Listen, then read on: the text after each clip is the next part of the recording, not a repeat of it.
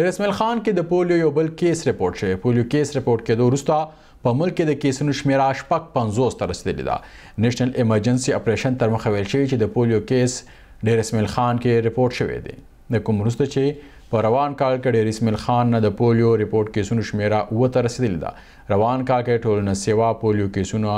بلوچستان کې رپورټ شوی دی د کوم سره چې شمیره شپږ ته رسیدلې ده خیبر پښتونخوا نه پنځلس، سند نه دیارلس، نامباد او پنجاب نه یو یو کیس رپورټ شوی دی.